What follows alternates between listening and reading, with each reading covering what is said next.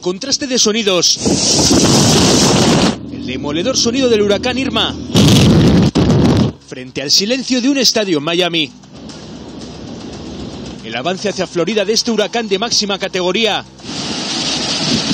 ha vaciado los estadios de béisbol de Miami, porque ahora mismo esos ciudadanos o huyen de la ciudad, como se ven estos kilométricos atascos, o compran provisiones para sobrevivir a un huracán que da miedo. El huracán más feroz de los últimos 37 años. I, I packed for, you know, probably an extra week or two on the road just in case. You just never know what's going to happen. Deportistas afectados por la situación, estadios vacíos, pendientes de la cercanía de Irma. Like you're just watching Weather Channel all day long. Su cercanía ha suspendido partidos de béisbol, fútbol, porque ahora mismo la prioridad es otra. Resguardar la propia vida en donde se pueda, pero salir de la zona.